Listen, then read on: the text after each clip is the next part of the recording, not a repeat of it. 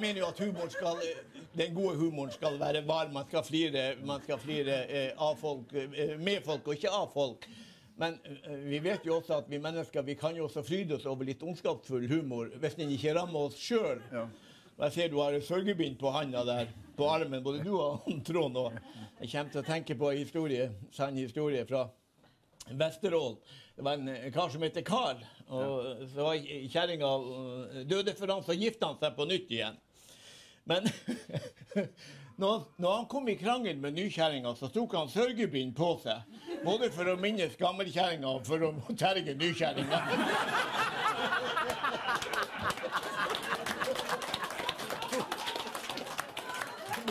Nå vet jeg ikke om du og han Trond klarer å terge noen med det der. Nei, jeg tror ikke vi måtte det. Men Arthur, siden du har uh, nevnt han Oluf, så må jeg spørre, jeg er nødt å spørre om du tror, Har du filosofert over hva som gjorde at Oluf kunne legge hele landet under lallene sine? Nei, eh, at han gjorde det hele landet, vet jeg nå ikke. Men jeg funderte jo selvfølgelig eh, hva det var som gjorde at han fenga såpass eh, folk, og, og så lenge. Og det sikkert var, var flere ting. Eh, mange var jo fascinert over hans ellevillige beretning fra Rallkratliet i samlivet med Oema og Lars. Det så, men jeg for min del syntes nok at han var best når han var samfunnskommentator, Når han gikk løs på makta. For um, den makt som blir utflitt, fortjent og ut, og er ferdig, og er ferdig. Den som blir fortjent utflitt, har ingenting å stille opp. Så jeg tror nok jeg likte han aller best eh, der. Ja. Si det? Men etter jeg har stått ved siden av han så, så mange år på, på scenen, så la jeg også merke til hans utrolige evne til, til å time replikkene. Og ikke minst å improvisere. Det har gått utover meg en del ganger. Ja, ja over meg også, faktisk.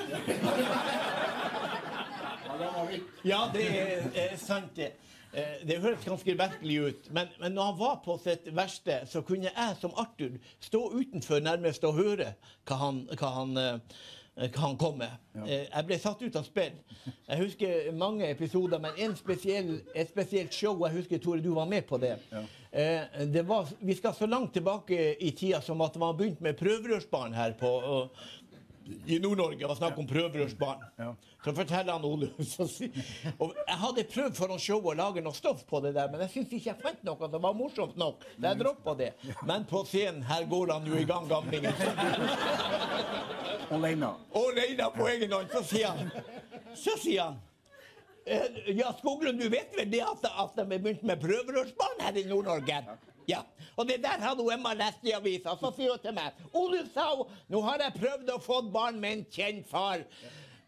Og resultatet ble noe deretter. Så nå har jeg lyst til å prøve med en ukjent far. Og dermed for hun bort på kvinneklinikken og skulle få seg prøverørsbarn. Men hun kom hjem med uforretta sak. Hvorfor det? De hadde ikke store nok rør.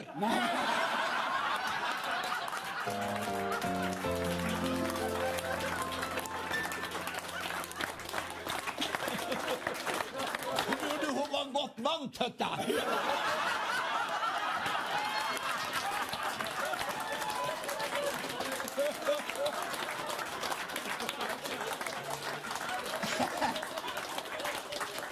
Du har jo, Arthur, i løpet av de her velførte vel 40 årene du hadde et samboerskap med Oluf, vært nødt til å gå ut og forsvare gamlingen.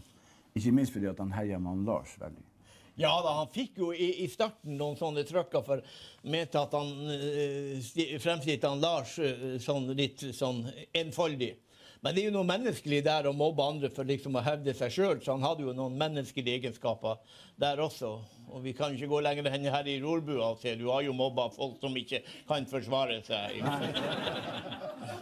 Han har med piano, men det holder jo faen ikke. Jeg Du, du likestiller Myhre med Lars nå. Nei, så jævlig kan vi ikke være med. Lars.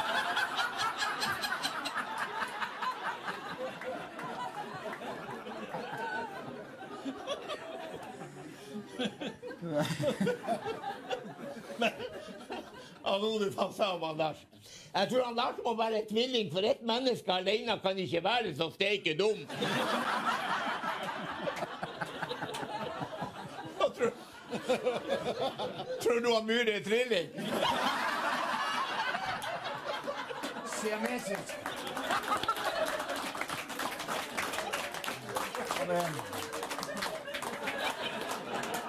Han er, siamesisk tvilling. Det har begynt å dele han opp nå. Bort på UNN. Men Lars hadde jo eh, Forskjellen mellom han og Lars er jo at han Lars hadde jo evnen til å forsvare seg. I hvert fall av og til. Ja, en, en eneste gang kan jeg huske at han, han Lars de tok, tok luren av faren. Han Oluf han sitter han Lars i dag. Lars, jeg var så gammel som deg, da gifta jeg meg. Ja, svarte han Lars, det kan du takke meg for.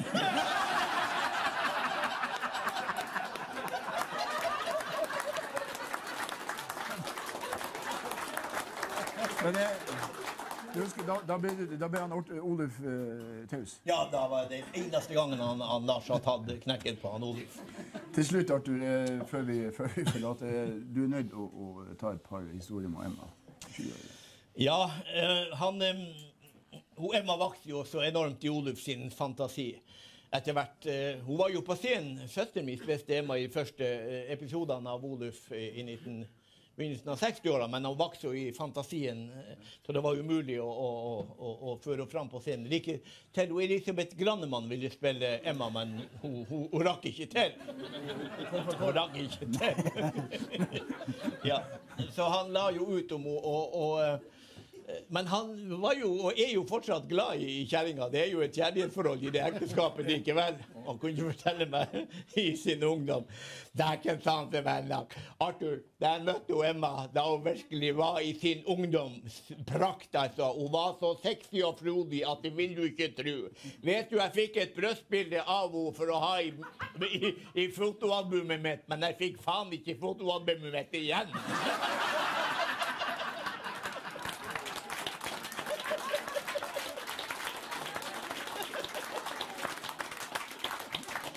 Men, men Emma skuffa bare meg en eneste gang i livet.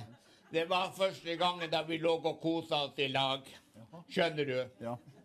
Jeg trodde hun var lidenskapelig, men det viste seg senere at hun hadde bare astma. Takk skal du ha.